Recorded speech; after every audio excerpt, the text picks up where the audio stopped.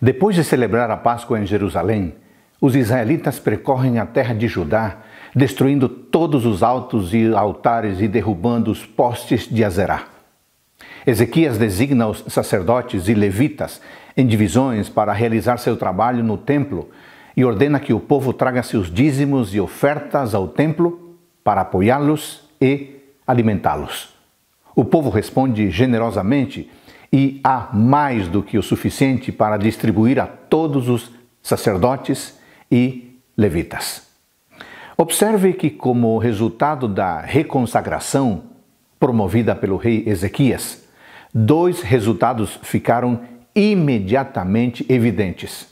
Primeiro, o povo destruiu toda forma de idolatria que competia com a lealdade a Deus. Em segundo lugar, houve um impressionante espírito de liberalidade, permitindo que as pessoas ofertassem a Deus com plena alegria.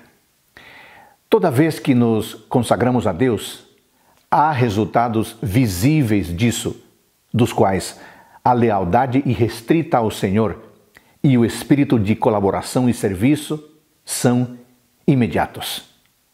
Lealdade e serviço, duas virtudes que resultam de uma vida consagrada a Deus. Pense nisso com carinho, que pela graça de Deus, você e eu desenvolvamos essas virtudes hoje. Que Deus abençoe você.